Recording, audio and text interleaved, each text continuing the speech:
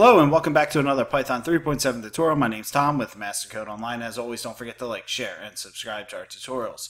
In today's tutorial, we're going to go ahead and add the, or find the number of occurrences of a single object in a tuple. We're going to use the count method to do so, so let's get started.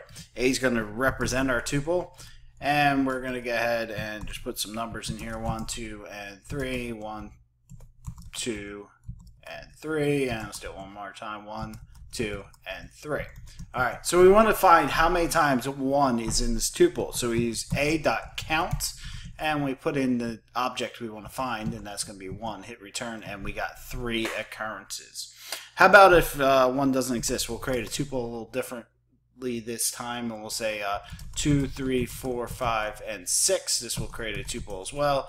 And if we do b.count and put 1 in here, it is uh, zero occurrences. So that's how we use the count method on the tuple in Python. If you have any questions, please let us know over at mastercode.online or down below in the comments.